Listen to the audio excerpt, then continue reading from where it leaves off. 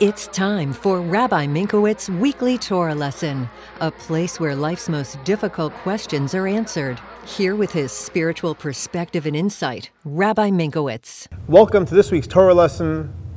This week we are celebrating the holiday of Yom Kippur. The question of the week is how can you learn to forgive? So this week on Shabbat, we are celebrating the holiday of Yom Kippur, which we know is a day that God forgives us for all our sins. And matter of fact, whether a person repents or doesn't repent, there's something in the power of the day that causes true forgiveness. So the question is, how do you create that powerful gift of forgiveness? Because as you know, when a person forgives someone else, you're actually becoming happier and you're releasing all the negative energy from yourself. So we find in Yom Kippur, God forgives us. And the questions that's asked in mysticism, let's say God forgives us for all our sins. But the fact is, when we sinned, we caused our soul to be blemished and tainted. And how do we go about cleansing our soul? So the Rebbe explains a powerful insight what actually takes place on Yom Kippur.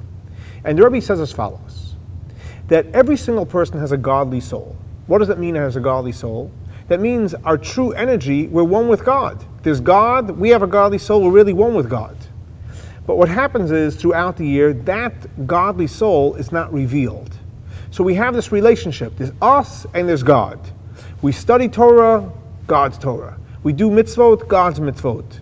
We pray to God because our soul is concealed and we have an outer self, the I, that is revealed, and we have a relationship with God.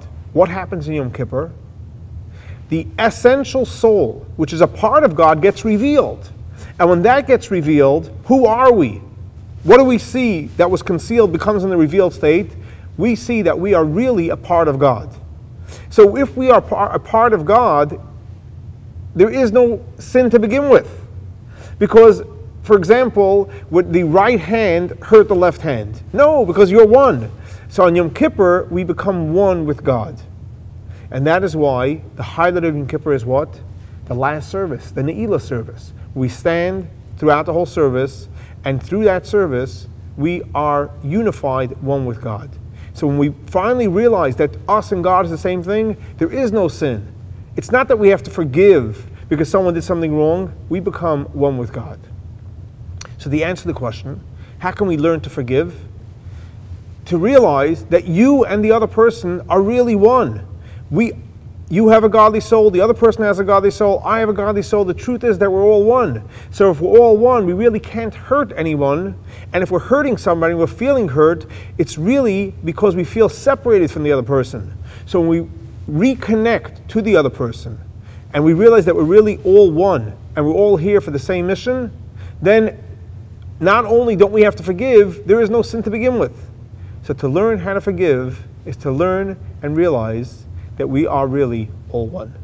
This week's Torah lesson is dedicated to the memory of Eliyahu Ephraim ben Yosef and Rashi Bas Reb Chaim Meir Halevi. May their souls be elevated for the Torah we're studying in their memory. Thanks so much for joining us for our weekly Torah lesson. Please join us for services in honor of Yom Kippur, Friday evening at 7 o'clock, Saturday morning at 9 o'clock. We have a full program for adults and children, and we look forward to all being forgiven, both by God and both by our fellow man and woman. Shavua Tov and have a great week.